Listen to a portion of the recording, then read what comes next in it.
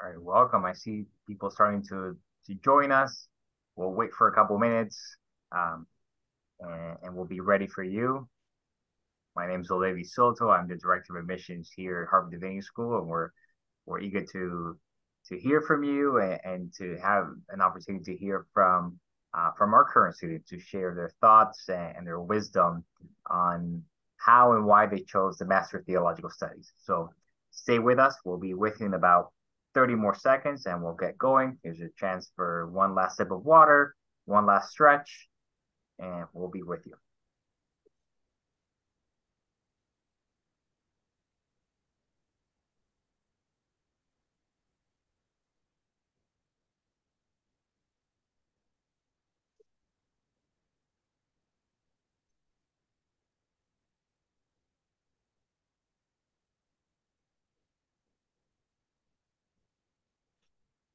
All right. Well, this sounds like uh, it's about 30 seconds since we, I last mentioned this. Again, welcome to those of you who just trickled in. My name is Olevi Soto. I'm the Director of Admissions here at Harvard Divinity School, and welcome. Thanks for joining us. Uh, I'm a proud alum of the HDS uh, community. I, I, received my Master of Divinity back in 2011, and it's been a real honor and privilege to come back and have an opportunity to to meet new prospective students and eventually to have them apply and join us in our community. We're very excited. We have um, a very straightforward, hopefully very informative event for you today. We're going to talk um, about the program uh, first in general, HDS, just sort of, I'll, I'll, chat with you for about 10 minutes or so, uh, give you some hopefully nuts and bolts uh, details that will help you as you're thinking whether to apply now or the following cycle and then we'll transition to having our wonderful panelists and, and having um, not four students that are going to have it be in conversation with Professor David Lamberth. So I'll get started right now. So again, this is me. Um, hello again.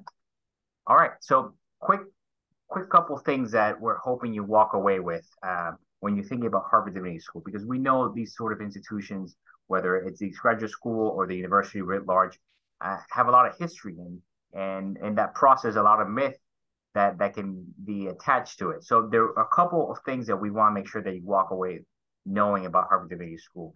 We've been around since 1816. Uh, we were the first divinity school um, in the U.S., and we're also very proud to be the most religiously pluralistic in the world. That's something we take uh, a lot of pride in, and something that really informs our community spirit, but also the sort of questions and the sort of the answers that we're looking for as we build a more just and peaceful world. Uh, HDS educates students for a whole host of things. Uh, you'll hear a little bit about what some of our current students are preparing themselves for. You'll hear, of course, academic careers, or you might hear about um, social and, and uh, justice work, uh, religious literacy, political work, economic opportunities, uh, working in the foreign service, you name it. So you'll hear about how our our students are able to be capacious in their understanding of some of the topics we we learn here, and then carry them on into all sorts of different arenas. And again, our vision is is, quite large and, and hopefully ambitious enough to accommodate a lot of other people's ambitions and and visions, which is to provide an intellectual home uh, in which we can learn about different religions in an effort to, of course, create a more just world at peace. That's our vision. Again, the MTS is what we're honing in on today. A couple of things uh, for you to, to be aware of. Uh, again, it's a, it's a full-time degree, two years. Uh, you'll, you, we can talk more about the areas of focus and, and the 19 options that we have on, on that. Um, but also the fact that we encourage you to become an expert in other areas as well. We we want you to really uh, be conversant in uh, various traditions, but also different modes of understanding some of these big questions. There's one required class, uh, which in fact you share with uh, your peers in, in the other degree programs, and there's a language requirement. What this means is that there's a lot of freedom, a lot of intellectual freedom in, in how you construct your two years here, but also it's safe to say that no two HDS students' transcripts look alike. You're really able to tailor your questions uh, and what you're looking for it through not only the curriculum here at the Divinity School, but the whole university. And one massive thing for you to, to know uh, about our MTS program is that institutional grant aid is available. In fact, about 90% of our MTS students, just like in the other programs, receive financial aid. And it's quite generous as well. We can talk more about that here or in, in other in other webinars or in other opportunities as you communicate with the admissions office. Again, these are the aforementioned 19 areas of focus. Um, uh, we're very excited about our new religions of the ancient Mediterranean uh, area of focus. You'll see that the, the, the areas run the gamut, uh, but there's a lot of overlap in some of these as well. And in fact, some students realizing they're looking for a particular slice of some of these questions are able to also create sometimes their own independent areas of focus as well. So there's a lot of flexibility and a lot of options for for students. Um, I, I know that I took a lot of when I was a student, I took a lot of courses in in in South Asian religious traditions, Jewish studies, and, and Buddhist studies, for example. So those are some of the ones that I remember really gravitating towards. Again, institutional grant, something that I'm really hoping you walk away with knowing that if this is something that you're you're interested in, financial aid should, not be a deterrent. In fact, it should be something you're really excited about. Uh, we are one of only two divinity schools in the country that that new that do need based aid, which means that uh, our application process, the admissions committee, uh, is completely need blind. We have no idea what students' uh, financial aid situation or their needs are. So we want to admit students uh, on the merit of, of of what they bring to the community.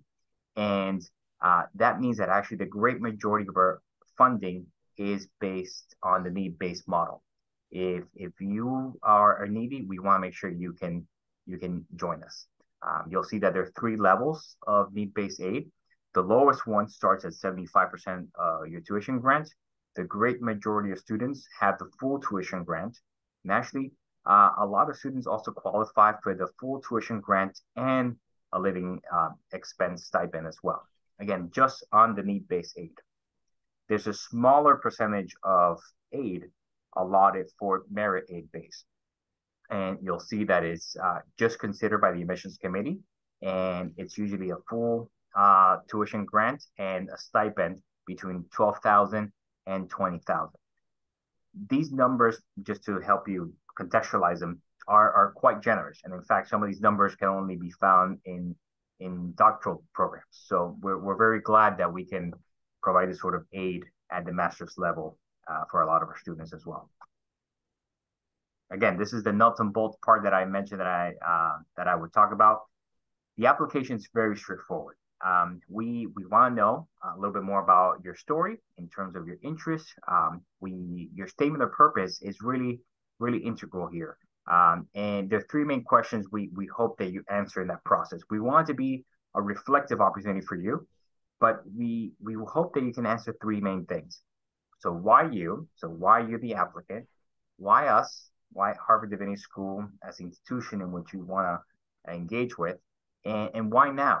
Um, why are you applying now? Why not last year? Why not three years from now? Why is the timing perfect for you right now? So that's something that we hope helps you think through uh, how you want to present yourself in a statement of purpose.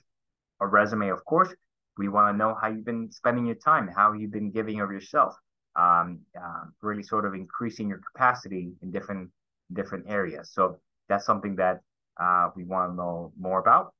Of course, we want to know how you've done academically. We'll need your transcripts. Um, this is graduate school, and this is uh, a quite challenging uh, graduate school, very engaging, but it's a lot of reading and writing. And we want to make sure that you can uh, hit the ground running and, and, and, really make the most of it. Let us a recommendation. We require three. Um, the Master Theological Studies, a lot of our, uh, our, our applicants really emphasize professors and, and at this stage, people who can really attest uh, to the student's ability to not only engage with this material, but be able to produce again through through strong writing uh, at the graduate level work. So I would I would encourage you to think about how your recommenders can also highlight different strengths of yours as well, since we asked you for three. Our writing sample, I told you we were writing heavy. Uh, we want to know how how you've done, uh, and, and, of course you can um, create a new writing sample, a new something you produce uh, just for the the application, or you can actually take something, uh, an excerpt from a bigger piece, and contextualize it, and then present to us um, with that within the, the, the, parameters we set, which is about uh, five to seven pages. Just again, a sense of of your writing style um, and your citation. Do, do you know how to manipulate this sort of this sort of back and forth sort of writing intensive work? Um, if applicable, if you have not done your undergraduate level work in an English only institution, uh, we would ask you to uh, send us your TOEFL and IELTS scores. And then the last part is an interview by invitation. Uh, this is an opportunity for us to get to know you a little bit more, but honestly, for you to also uh, get to know us more. It's an opportunity um, to see how we could be a good fit for you.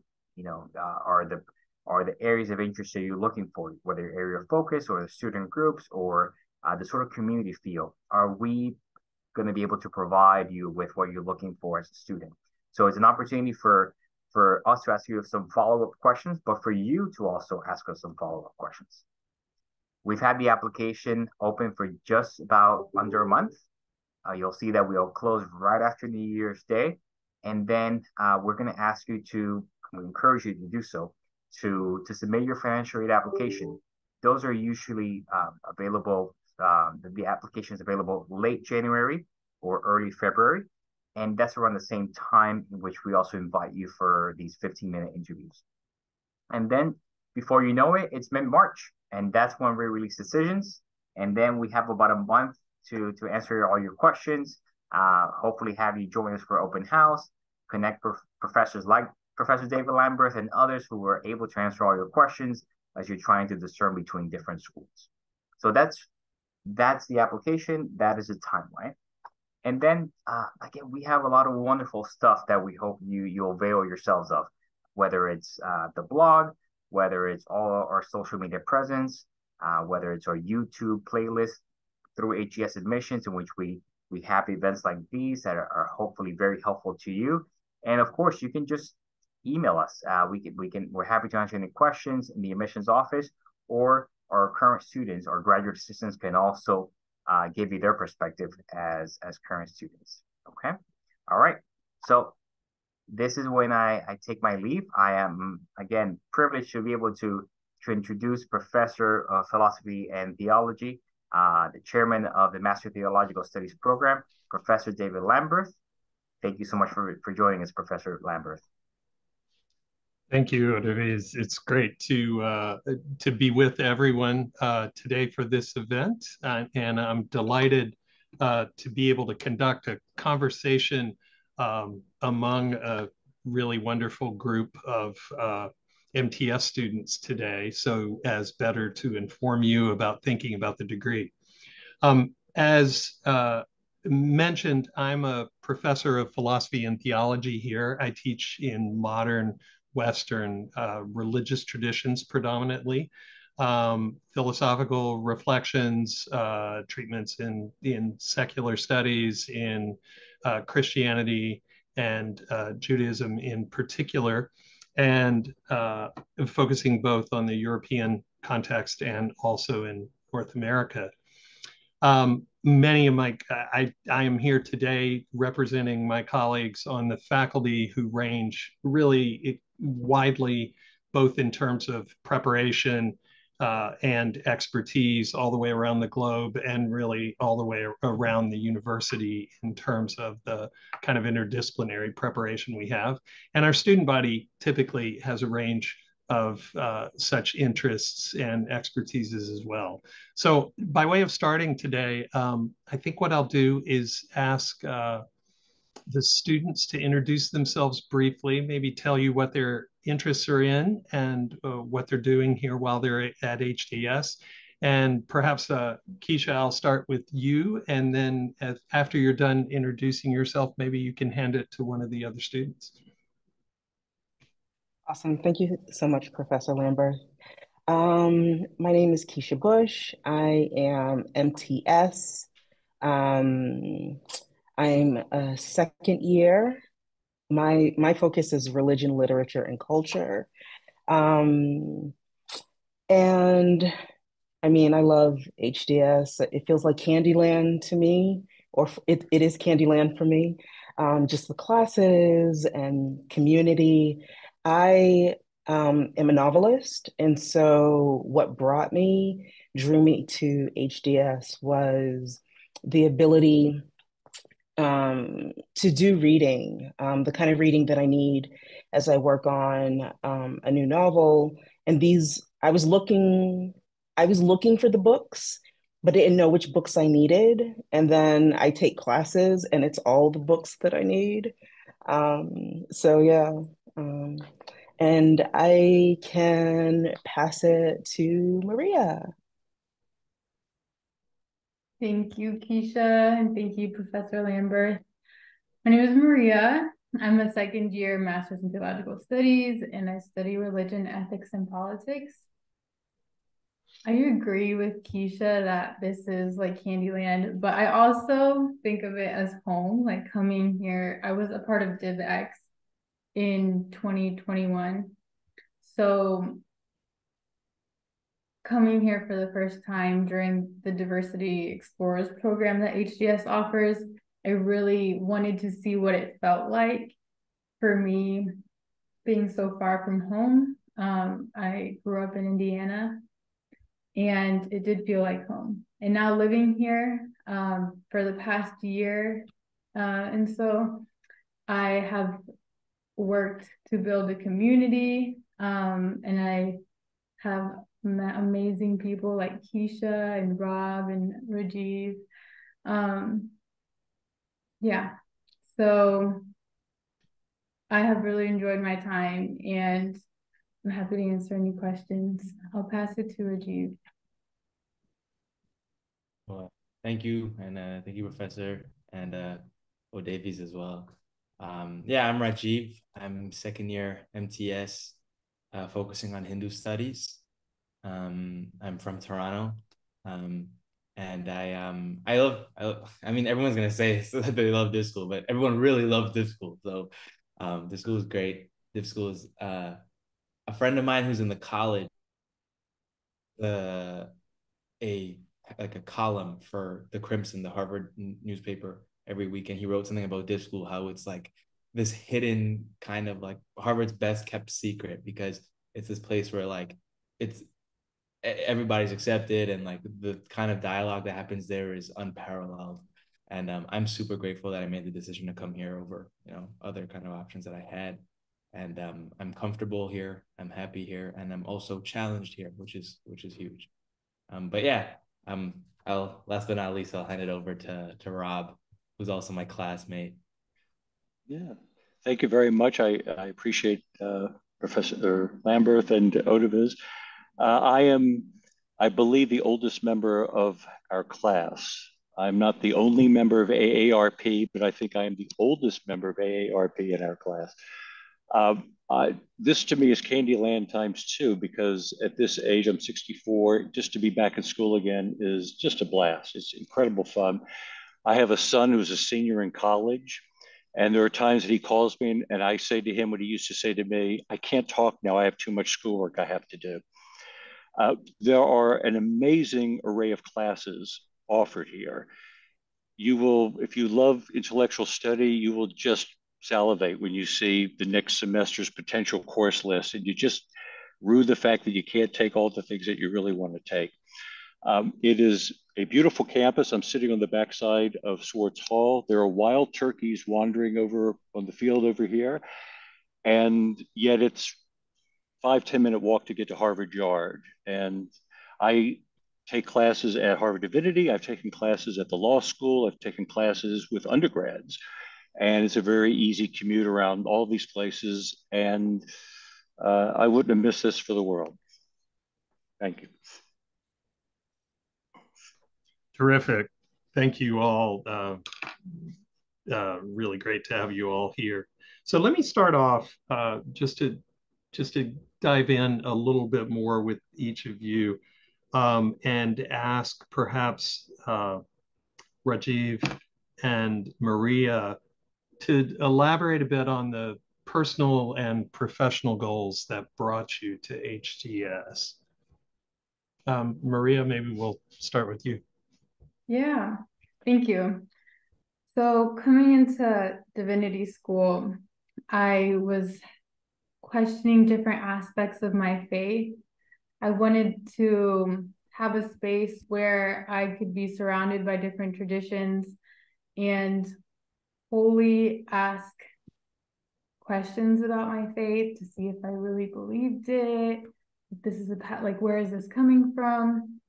Because my eventual eventually I would like to go to law school and I don't feel like I could go to law school without being confident in my own belief system. while I've been here, I have been able to answer those questions that I had that I really didn't think what could could even be possible in answering. Um, and it's been a very um like in many ways like healing journey for myself and and being able to answer these questions. Um, i recently made the decision to take another year to apply um, to law school.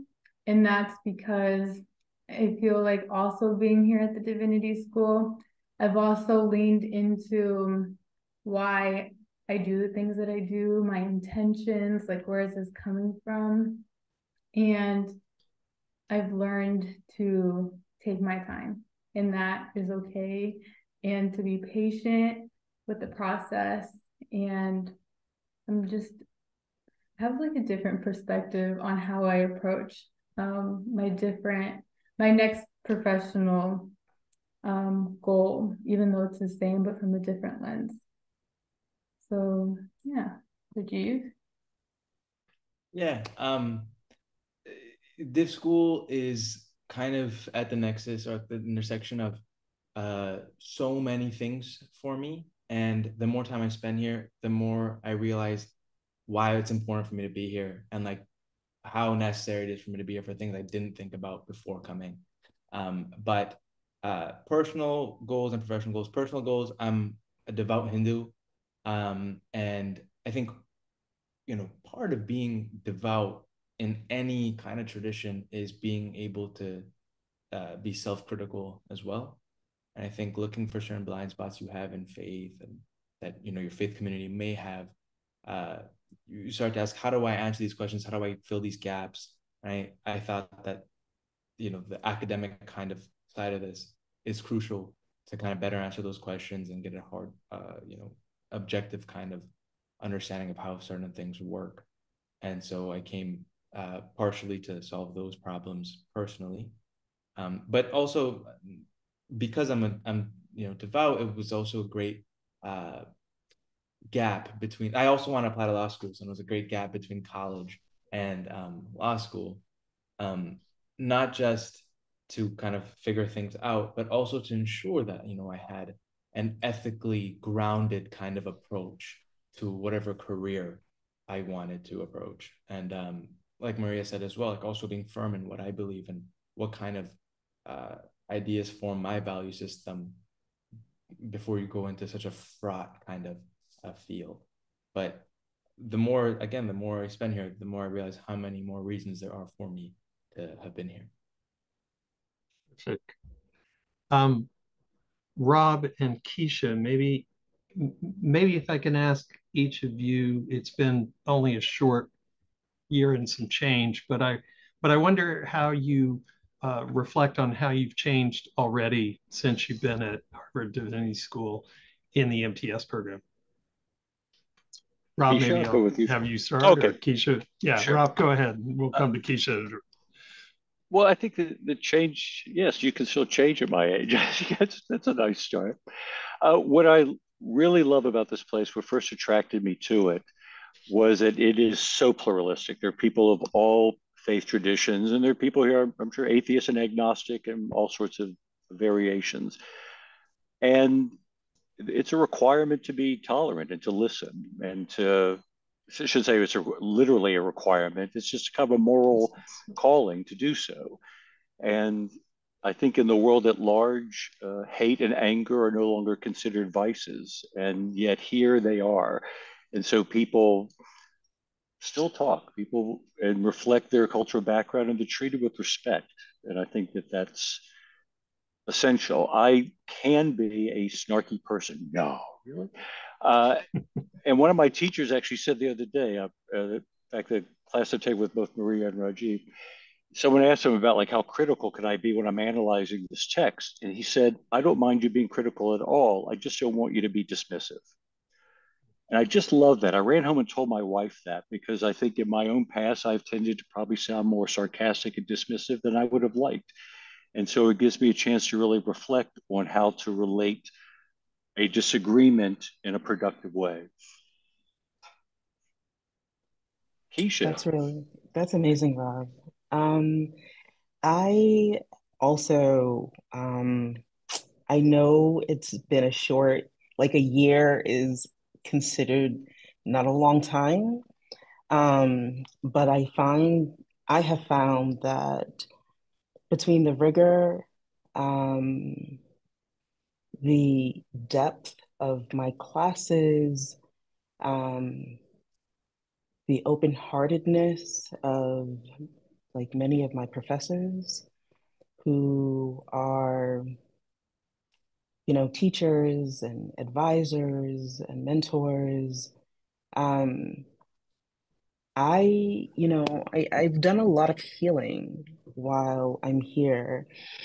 We, you know, when I came to HDS last September, I had been um, on lockdown for over 18 months or almost two years. Um, and was very isolated because I left New York and moved to Tulsa, Oklahoma, and realized that 18 months of isolation is actually not healthy for me. So I was very like, oh man, people, noise.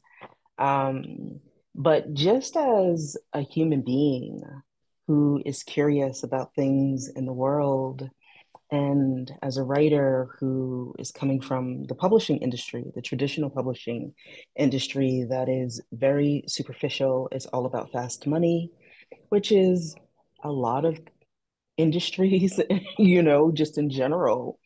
Um, and in a space where you're not really being seen, you're just this monetary object.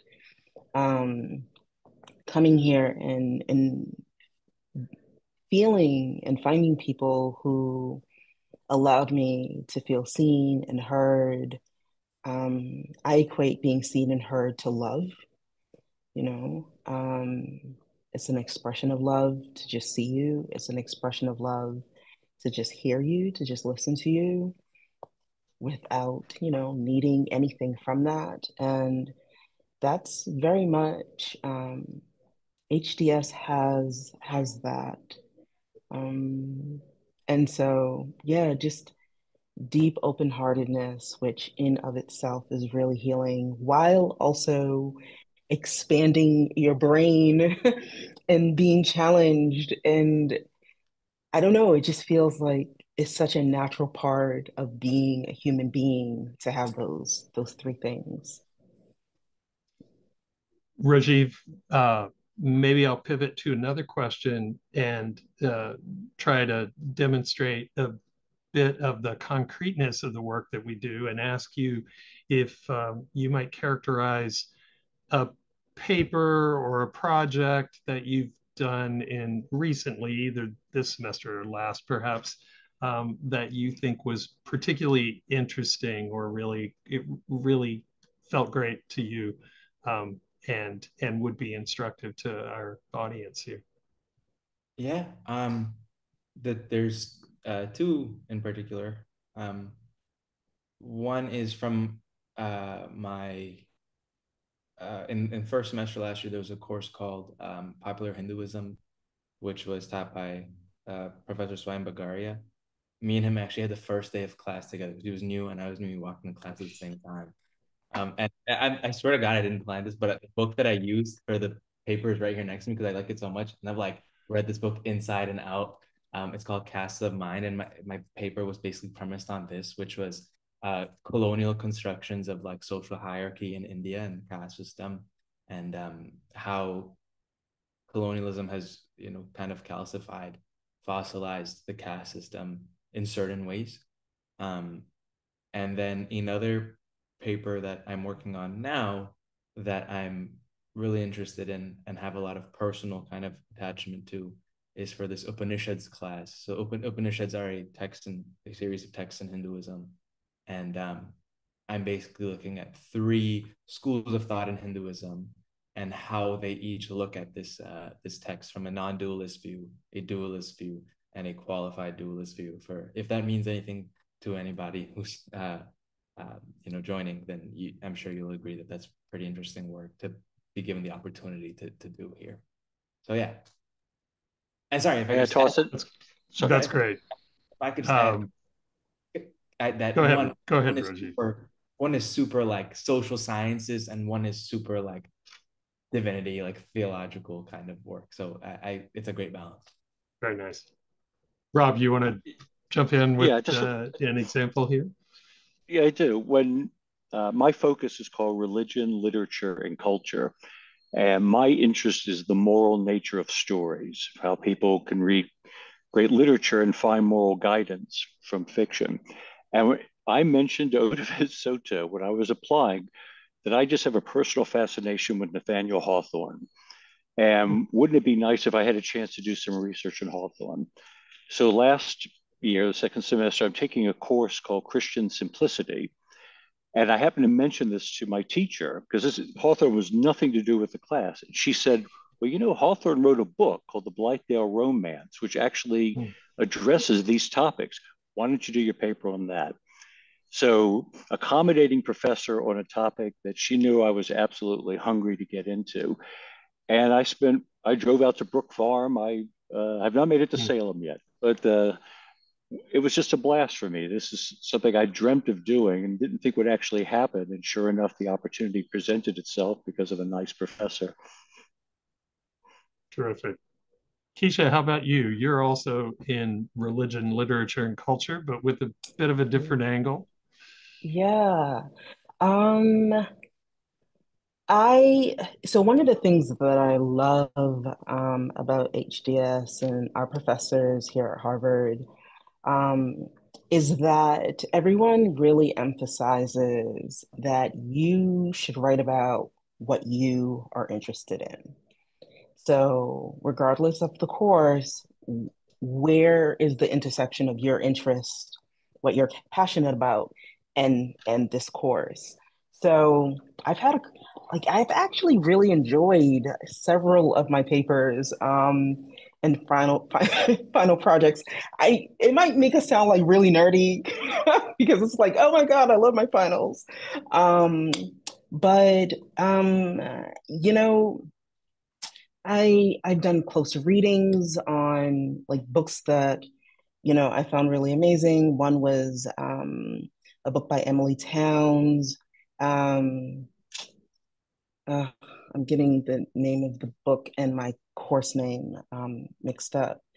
But um, I also did a, a creative project um, for a course last semester, Religious Dimensions, in which I took some of my writing and I teamed up as a with as my um, final course partner, a, a, a student from the college. He's a senior and he's a bass player.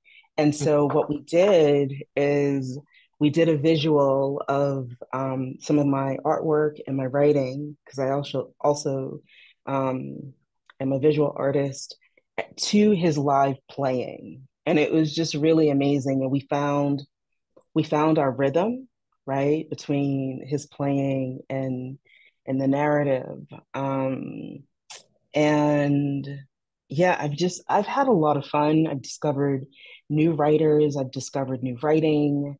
Um, and I'm, you know, contemplating um, very seriously pursuing the PhD it, with finding the intersection with my own interests and work, which is really, really exciting and somewhat scary too. because I'm like, so the eh, the class you were in, no doubt, is David Carrasco's uh, religious yes. dimensions of uh, human experience, which is Yes. is a wonderful class, but also a wonderful venue for the creativity of students, um, uh, Exactly. like so many others. Uh, Maria, how about how about the project or paper from you that particularly sticks out?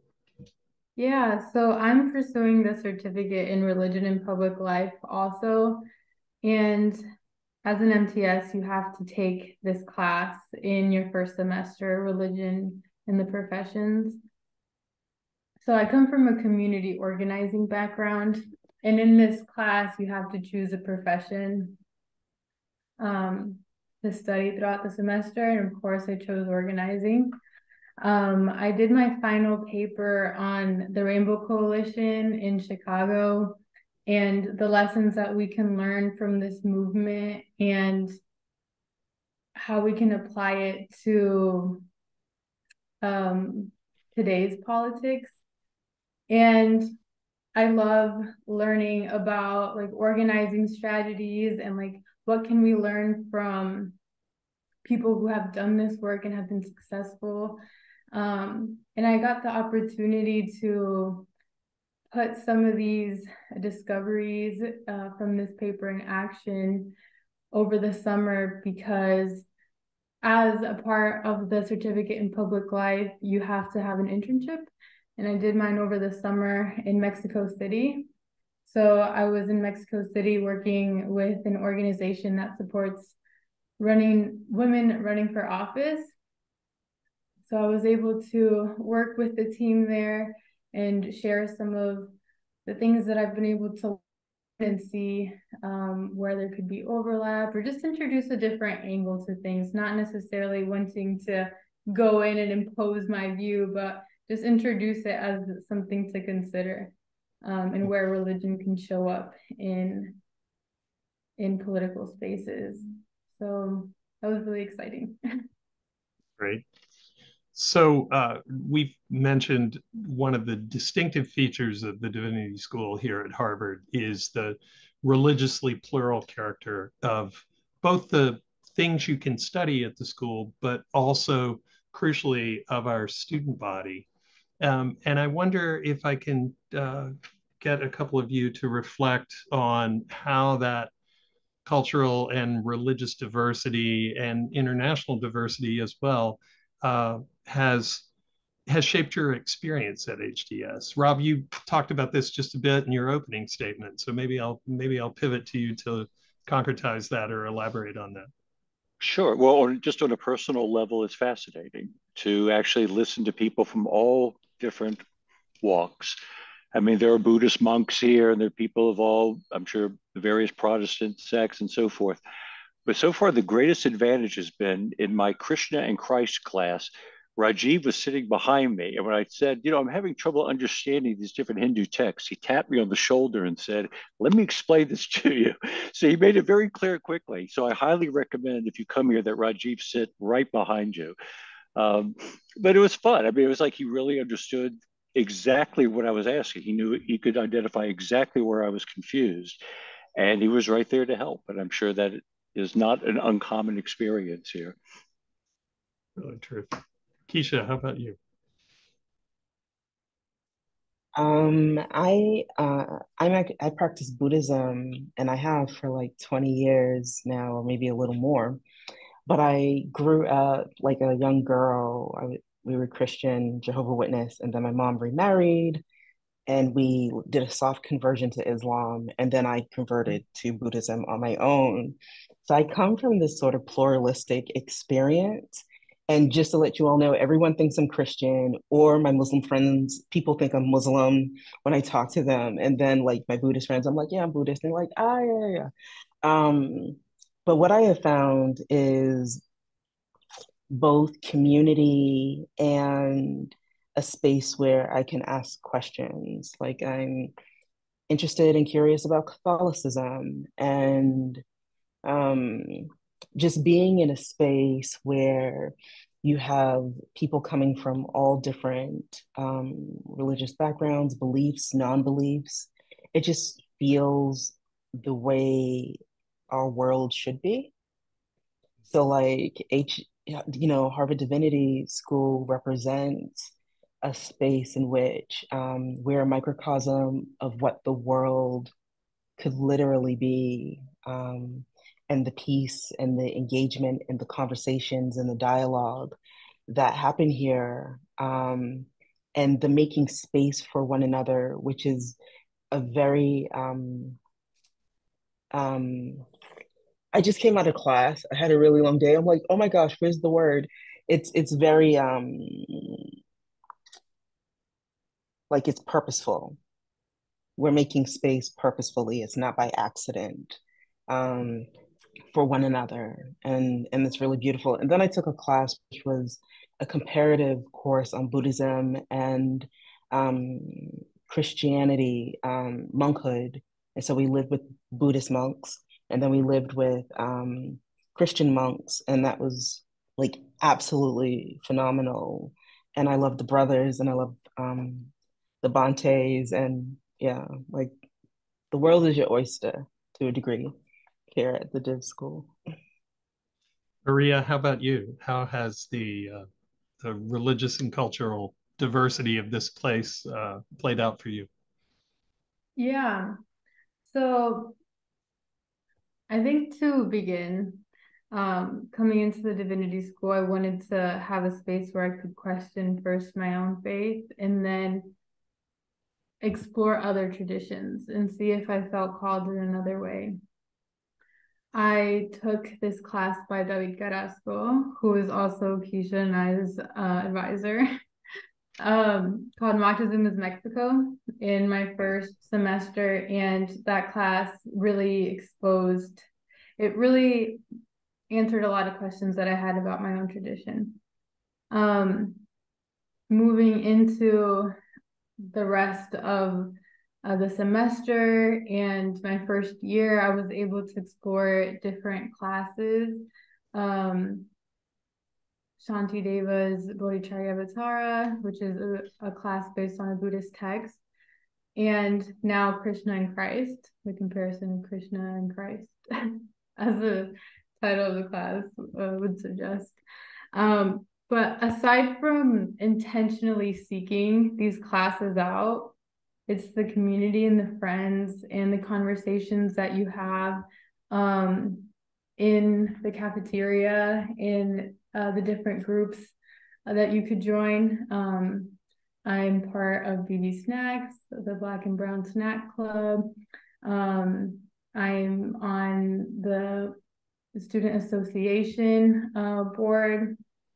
And being able to join these different groups you meet people with such rich perspectives that sometimes you don't even have to, you don't even have to go out and look for it. It's just you're just surrounded by people with so much um insight. Um it's it's really like a beautiful experience. Thank you.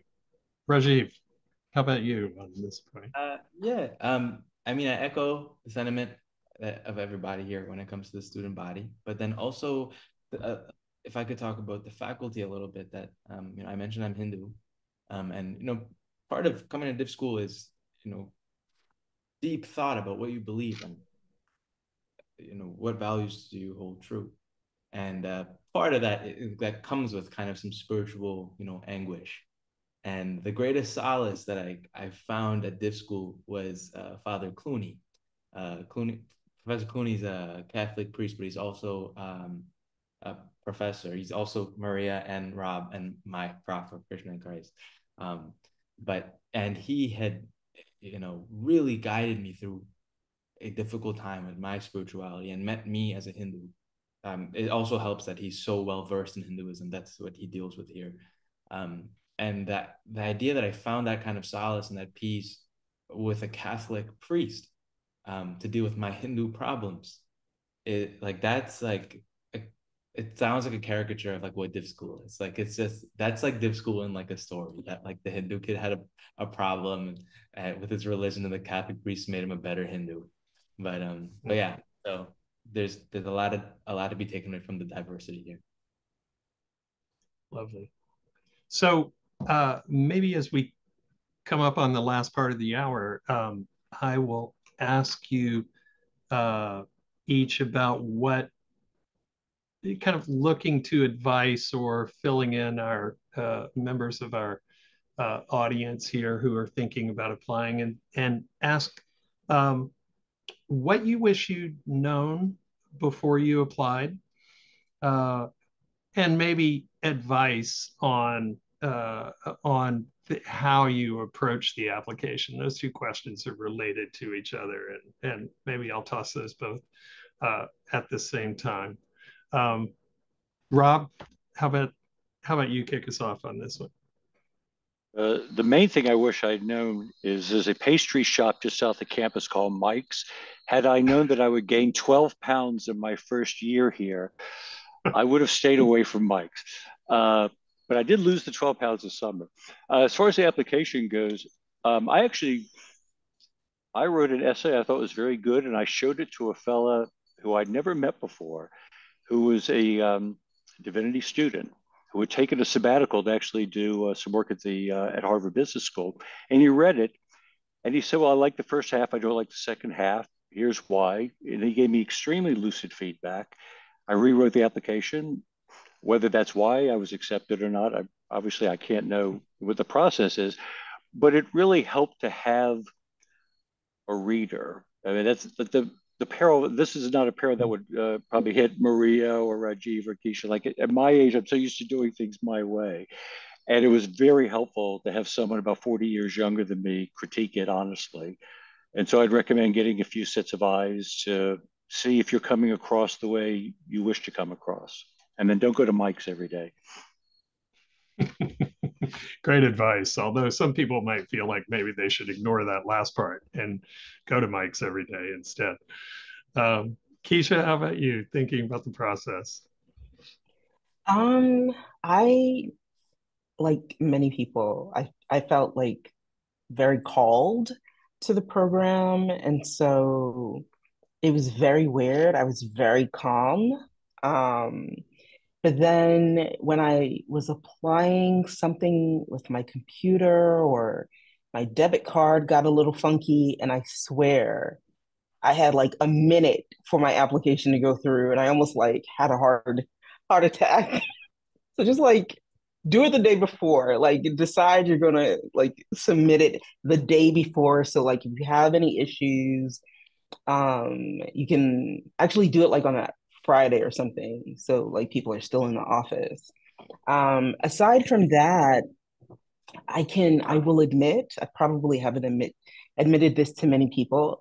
Like I said, application went in. I'm cool, calm, and collected, and then I I get notified that I'm going to have an interview. I stress a little bit. I'm nervous as can be during the interview. Um, and Odevi's interviewed me and I then felt like I bombed the interview and then I stressed I stressed so bad between the, the interview I thought I bombed and the notification that I got in. Um, so I would so like three days before March 15th, I said, calm down. The decision has been made. But I I would say try to do something with that stress because the truth is is once the application is in and you've done, you know, it's not in your hands anymore, right? Um, and so find things to busy yourself with a project, a book, something, and deep breathing, yoga. All right. All right. Rajiv, what what advice do you have in, on this regard? Um, yeah, uh, it two two things i guess. One is uh come pointed like i mean unless you're here for the free for all but like if, if there's something in particular you're interested in look at the course catalog before even if you're ha- if you're still depend deciding whether or not to apply see what's there for you. Because i'm in hindu studies um they're trying their best um but it works for me. Like i like what i'm learning here. For some people it may not be uh, you know with a limit uh, amount of courses. So so uh, make sure you know what you want so that way you're also not wasting time in a short two years because two years like flies by So make sure you're doing, you're maximizing, optimizing your time here with courses you're interested in, which they allow you a lot of grace to kind of do. Um, the other thing is, you know, div school is such a great place in the sense that, especially HDS, that it allows this balance between the practitioner side of you and like the academic side of you. Um, but then sometimes those things can be at odds. So stay grounded, you know, make sure you have a support system either within yourself or around you that when those things kind of give you a hard time, um, you know who and where to lean into, especially when it comes to your faith, because um, you know that can come crumbling down in a lot of ways. But also, like I said, you can lean into any number of people here as well, especially Clooney. Um, I will I will sing Clooney's praises to the end of time. But yeah. and Maria, what do you wish you had known before you applied? Yeah, I think go ahead and apply. Like there's nothing to lose and everything to gain. Um, I will say that I was not supported um like by the my, by the people around me to pursue hmm. a master's in theological studies.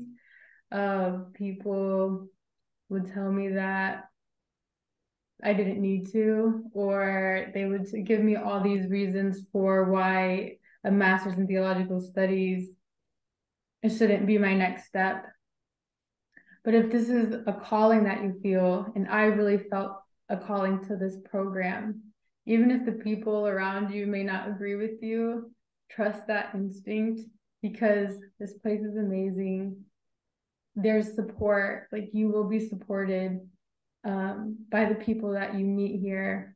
And if I could look back to my application, I think something that really helped me was being flat out authentic and transparent about my discernment in choosing divinity school. This is really, I laid out why I came to this decision that this would be my next step. Um, just be honest. Just be honest. Um, hmm. because it's valid and just trust the weight of your discernment process is enough to get you here because it is. Um, so yeah, that's what I would say. Excellent advice from all of you. We, uh, as members of the faculty on the admissions committee, and certainly as the staff, are always looking to find uh, the authentic uh, selves of the students who are going to become our students, like all of you are, and to really make this place the community of engagement and learning and practice that it is. We have students, uh, many students who are looking to go on in academic fields alone, students who have many different paths uh, through various forms of practice, and students who are just trying to figure out which path they should take, but who know how to go. They're all uh, really crucial parts of our of our classrooms, of our community more broadly.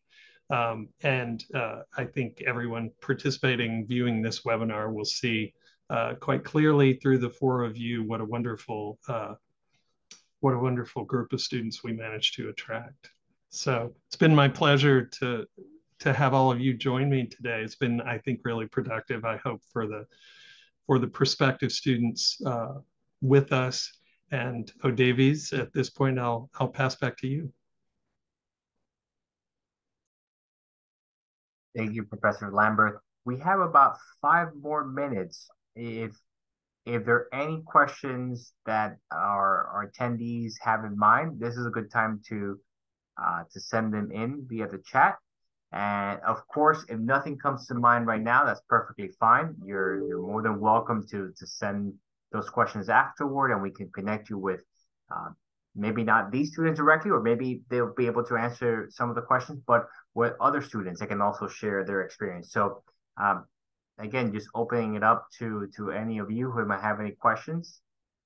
We'll wait for about 30 more seconds. See, I, I just want to honestly just take the opportunity again to to thank Professor Lamberth and, and our panelists for for for giving these prospective students a, snippet into the the process through which you decided to to go through as you applied, um, but also what it's been like for you the last year and, and change. It's it's wonderful. Um, Ooh, someone asked a question that, if you don't mind, I want to. I've been wanting to say this anyway. Yeah, uh, Rob, go ahead, take it. If you get accepted here, and if you come here, I highly recommend that you involve yourself in Harvard University along with Harvard Divinity School. You might find that Steven Pinker is giving a lecture tonight, or former president at the law school, or who knows? I mean, this is obviously an astonishing place. So there's a lot going on around here, and uh, I highly recommend diving in. Wonderful, yeah. absolutely. I, I so one of the questions Oh, One of the ahead. questions we did get was uh, in the chat was a question about what some of the highlights of the social life at HDS are outside of the classroom. So I wonder if one of you wants to wants to field that, uh, Keisha. Um, I would just follow up. I thought Rob was answering that question because there is so much going on um, at Harvard that there are not enough years and millennia and days to get to everything. So you will find between like classes, um, student groups, and organizations and events um, and talks, many who are catered. Um, at HDS, we have Tuesday tea that's catered. Um, there's so much going on at HDS and the other 12 schools that there is never a moment that it c- could not be filled. Would anyone else like jump in and sort of like second, third, fourth that? Third that. there's so many clubs to be involved, uh, to get involved in. And if there's a club that you're curious about, you just go to the meeting. Like everybody's just very accepting and even um if there's a tradition that you may not um you don't really know much about um you'd be surprised like these welcoming spaces um to just join uh, like a club yeah there's so much there's so much to do um it's a lot of fun but also i will say that it's okay to like take some time for yourself because sometimes it can be a bit much and overwhelming. So just take it, take it event by event, day by day, um, because it's amazing. We have time for one more, one last question. So I think maybe the question uh, that might be helpful is for one of you to to take the question of why you chose the MTS program over the MDiv program. I should note in advance of this, we uh, this is a, an important thing for your application, but you should also be aware that we have a fairly robust traffic between the two programs um, during, usually during the end of the first year, uh, when students come and and realize that no, they actually wish they uh, could have the experience of the other program. But I'm but I'm curious if uh, if one of you might speak to how it was that you made that choice yourself.